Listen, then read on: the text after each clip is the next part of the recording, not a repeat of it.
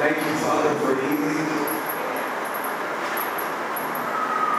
When sometimes we ask that there's no chance of healing.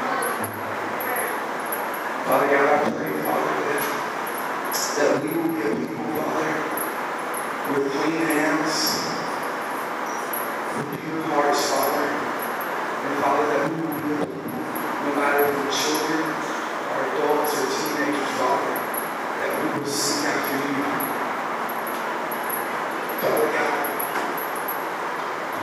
show